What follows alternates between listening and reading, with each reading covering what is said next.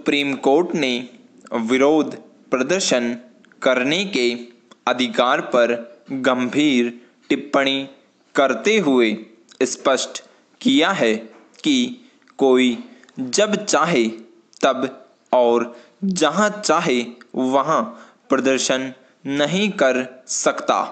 Court ने इसके साथ ही शाहीन बाग में नागरिकता संशोधन कानून के संदर्भ में पिछले साल पारित अपने आदेश की समीक्षा करने की मांग वाली करीब एक दर्जन याचिकाएँ खारिज कर दी। विराम, मौजूदा समय में चल रहे कृषि कानून विरोधी आंदोलन को देखते हुए सुप्रीम कोर्ट की इस टिप्पणी को काफ़ी अहम माना जा रहा है विराम उल्लेखनीय है। शीर्ष अदालत ने पिछले साल शाहीन बाग में सी के खिलाफ प्रदर्शन के संदर्भ में कहा था कि सार्वजनिक स्थान पर अनिश्चित काल के लिए कब्जा स्वीकार्य नहीं है। विराम जस्टिस संजय किशन कौल, जस्टिस अनिरुद्ध बोस और जस्टिस कृष्ण मुरारी की पीठ ने कहा कि हमने समीक्षा, याचिका और सिविल अपील पर गौर किया है और आश्वस्त हैं कि जिस आदेश की समीक्षा करने की मांग की गई है, उसमें पुनर्विचार किए जाने की ज़रूरत नहीं है। विराम पीठ ने कहा कि हमने पहले के न्यायिक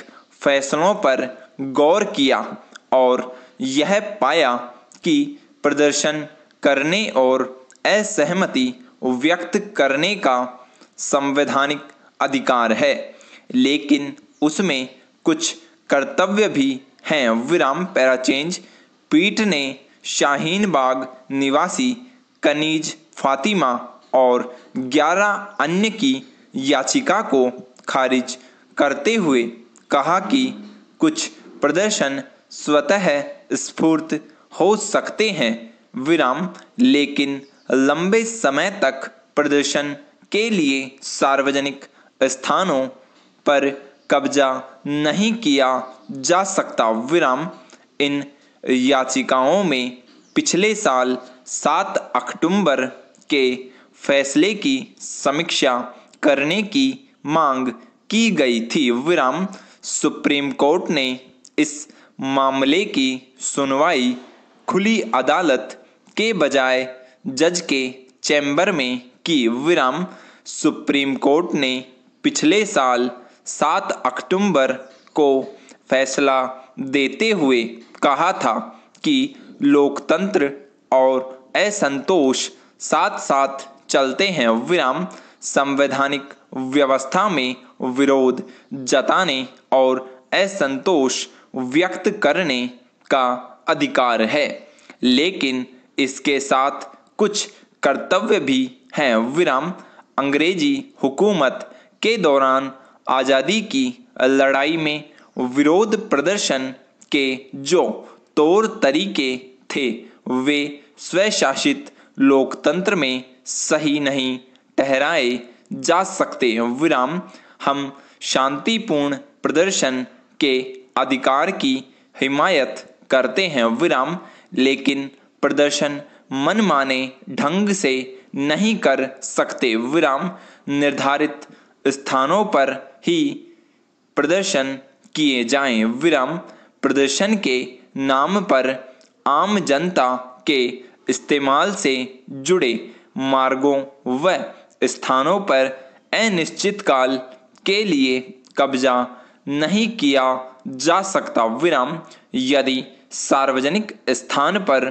कब्जा किया जाता है तो यह प्रशासन का दायित्व है कि वह इसे कब्जा मुक्त कराए। विराम पैराचेंज उल्लेखनीय है।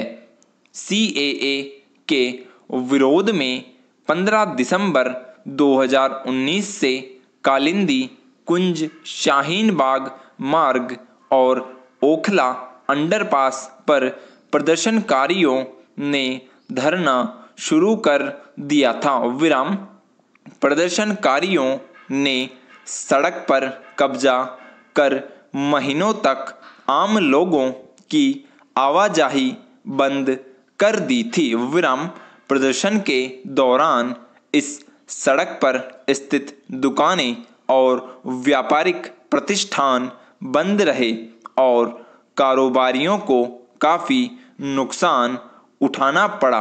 विराम, कई बार प्रदर्शनकारियों और स्थानीय लोगों में टकराव की भी नौबत आई। विराम, हालाँकि बाद में कोरोना फैलने पर बीमारी के डर से प्रदर्शनकारी स्वतः ही मौके से हट गए थे। विराम स्टॉप